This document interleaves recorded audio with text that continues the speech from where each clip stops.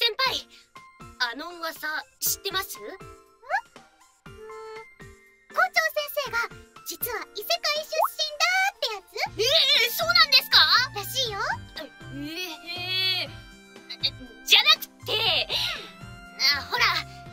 この中庭にあるあの大きな木の噂ですよ。伝説どこの学校にも一つくらいあるよねこういう噂。あまあそういえばそうですね。根元に死体が埋まってるって。いや違いますよ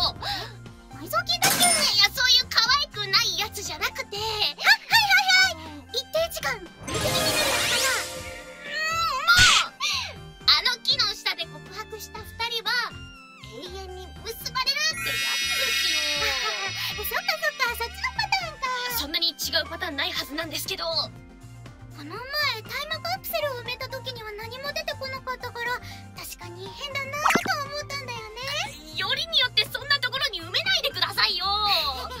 言われてみればそうだよね。あの木が成長したら学校の方が樹海に埋まっちゃうかもしれないのにね。いやいやいや何百年後に掘り出すつもりなんですか。おばあちゃんになった頃とか。あそりゃあまあなってるでしょうけど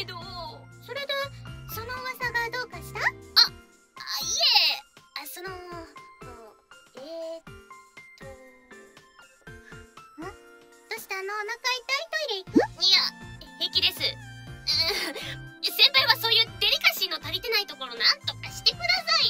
えあああごめんごめん。まあ優しいところとか素直なところとか嫌いじゃないです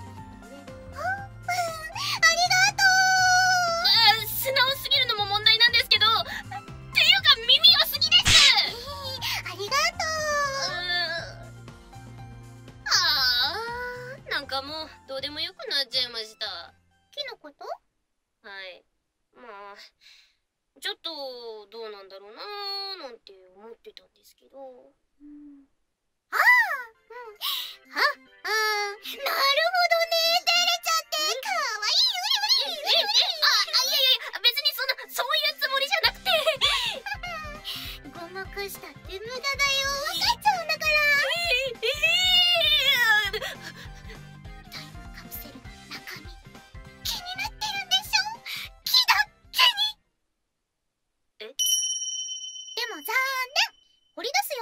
だ先だから。ああそうですか。うん。だけどその時まで一緒にいてくれたら中身見せてあげるの？えそれまで一緒にいていいんですか？ずっと一緒にいてくれるでしょ？はい。ああまあそこまで言うなら別にいいですよ。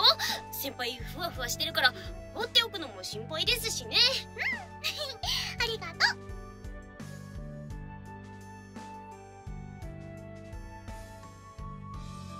ああ結局告白はできなかったけど。